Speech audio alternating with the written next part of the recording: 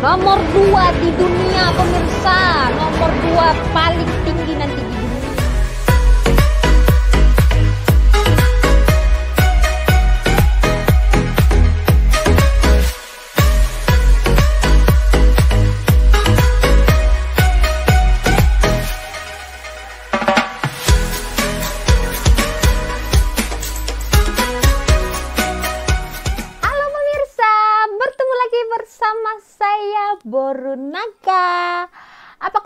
semua pemirsa pada hari ini? Semoga semua pemirsa dalam keadaan sehat dan terberkati setiap harinya. Amin.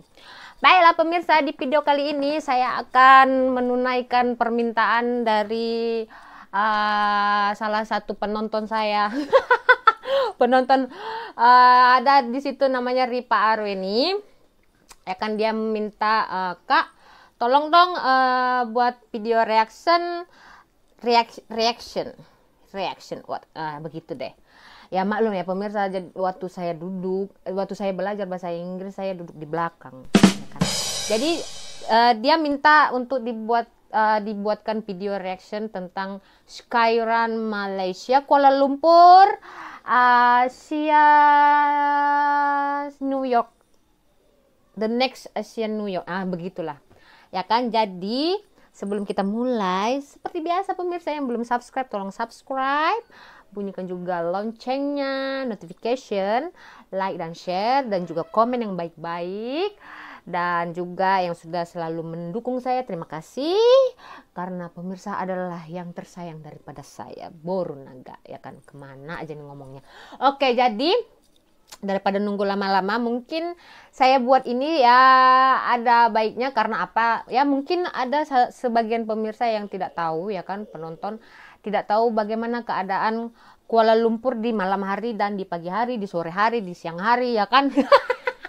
Jadi dengan dengan saya buat video reaction ini uh, dapat juga membe, apa berbagi kepada pemirsa uh, agar pemirsa juga tahu bangunan-bangunan apa yang tertinggi di Malaysia ini begitu ya kan. Jadi daripada tunggu lama-lama, daripada tunggu lama, daripada tunggu lama mari kita reaction aja. Check it out. Mm -mm, ya kan? Jadi nggak usah lama-lama pemirsa.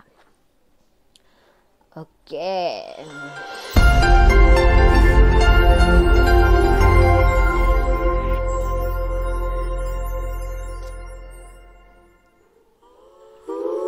Ini saya ambil dari Skyrun Malaysia ya pemirsa.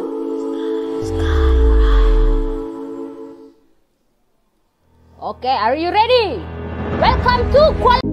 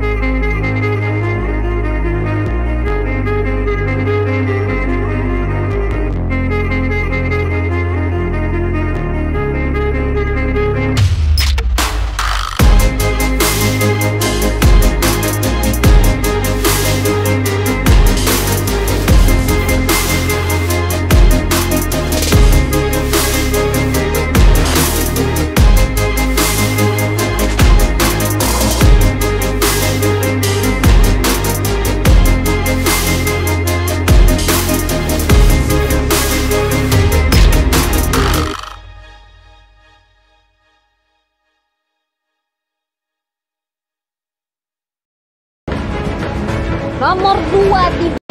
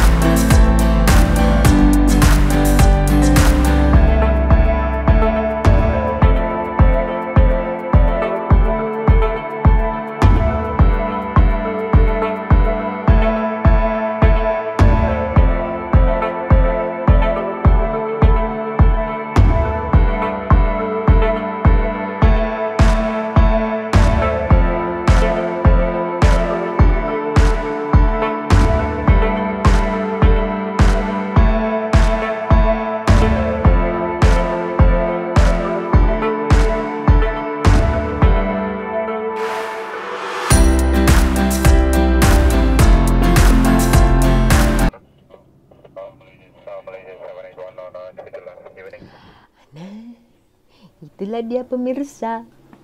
Itulah dia keadaan Kuala Lumpur di pagi hari, siang hari, sore hari, malam hari, subuh hari. Bahkan 24 jam. I Kuala Lumpur itu uh, dinamakan kota atau bandar atau uh, city never sleep. Kota yang tidak pernah tidur. Semakin malam semakin ramai dulu lah sebelum ada uh, si Koroce ini ya kan tetapi semudah-mudahan segalanya cepat pulih jadi akan kembali lagi seperti itu keramaiannya Oke okay lah, jadi untuk pemirsa ya kan yang kepengen ke Malaysia ini silahkan pemirsa tapi tunggu dulu ya karena belum bisa masuk ke sini. standby kan aja siapkan aja duit pemirsa di bank. Simpan banyak-banyak ya kan? Karena kalau pemirsa sudah sampai ke Kuala Lumpur ini sudah nggak ingat lagi dunia pemirsa. Semua mau dibeli. Karena apa? Murah berkualitas. Huh, orangnya ramah-ramah tempatnya cantik-cantik.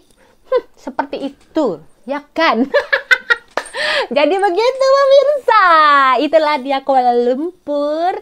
Itulah video reaction saya tentang Kuala Lumpur.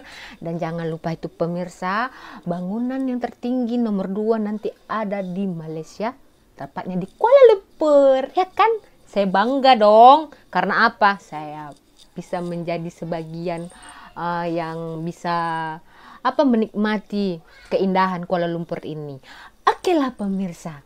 Jadi, maafkan saya kalau saya ada tersilap perkataan, omongan ya kan. Dan satu lagi pemirsa, kalau pergi ke Malaysia ini jangan lupa pergi ke Johor ya. Sepak bola di sana. Keren. Oke, jadi itulah dia video reaction saya tentang KLCC ya kan. Uh, semoga bermanfaat untuk pemirsa. Mana tahu pemirsa pengen datang ke sini silahkan pemirsa karena di sini semuanya ada ya kan? Jadi saya minta maaf jika saya ada tersalah perkataan. Silahkan di share jika bermanfaat. Saya mengucapkan terima kasih. Jika ada pemirsa mau request tolong reaction ini reaction ini tulis saja di kolom komentar dengan yang baik-baik ya yang positif jangan yang negatif pemirsa Baiklah, itu saja dari saya eh, hari ini. Kita berjumpa lagi di video selanjutnya. Saya Boro Naga. Bye-bye.